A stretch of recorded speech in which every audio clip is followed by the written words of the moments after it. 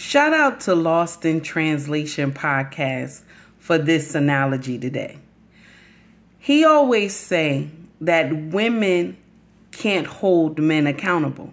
This is why we not supposed to be on the pulpit.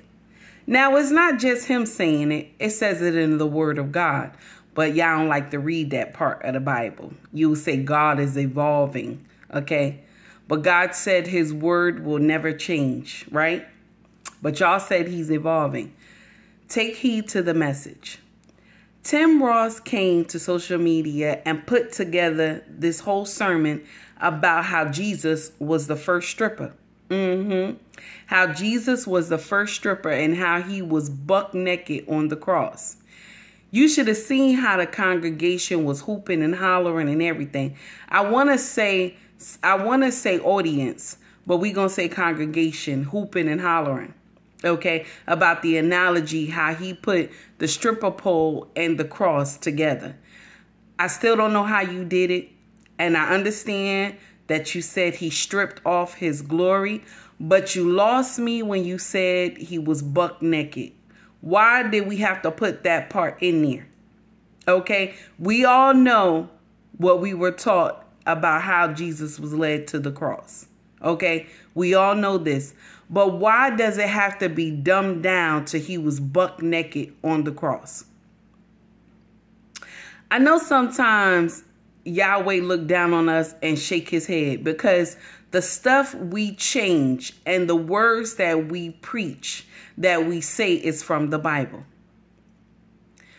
The congregation was hooping and hollering and screaming about what he said. And I'm going to share something with you. A lot of y'all know what he said was wrong. A lot of y'all did. But because he y'all pastor, y'all was excited. Mm-hmm. You were excited.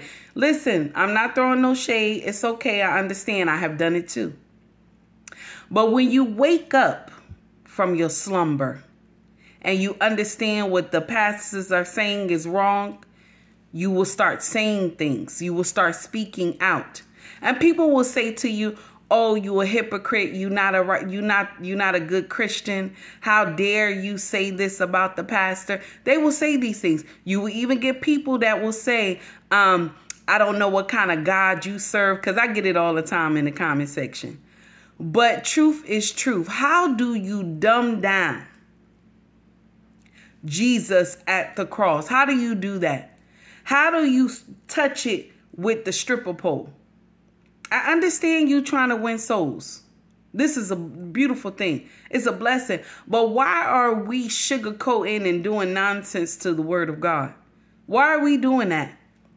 Just so we can get people to be um, blowing up the platform, you know, blowing up the platform, getting so excited, you get so many views and followings.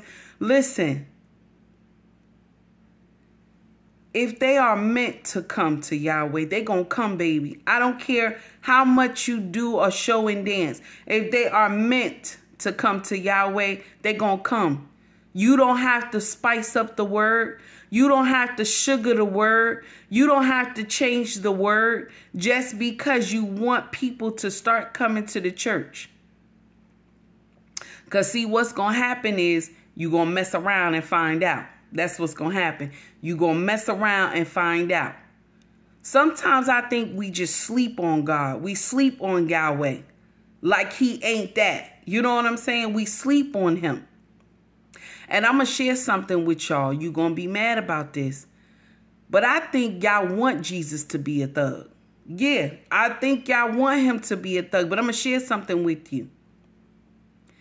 Jesus is a no nonsense. He's no nonsense. But we play like he a thug. We play like he a thug, like he my brother.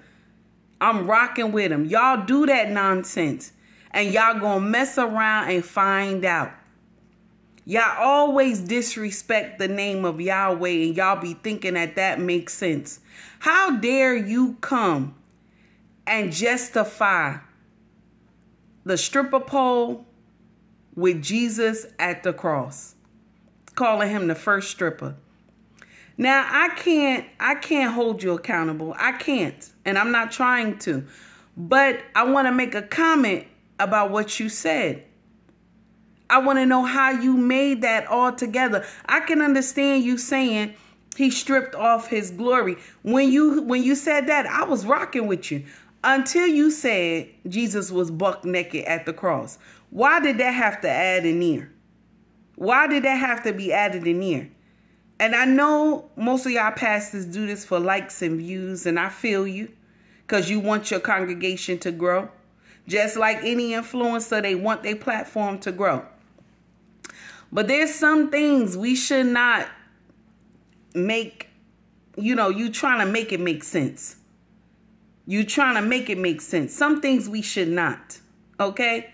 We should not make something foolish make sense. How dare you make these two together? The stripper pole and the cross.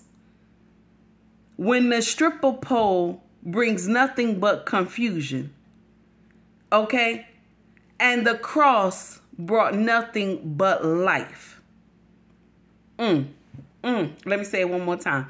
The stripper pole brought nothing but confusion. Mm-hmm.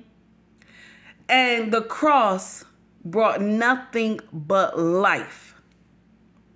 I can't hold you accountable. I can't. But there's a lot of brothers in this space, sir, that will hold you accountable for what you said. The internet is undefeated, honey. Mm. Not on my watch. Not on my watch. Mm. Take heed to the message, sir. Mm. I don't know how you put that together. The stripper pole and the cross. Mm. Got to be more careful.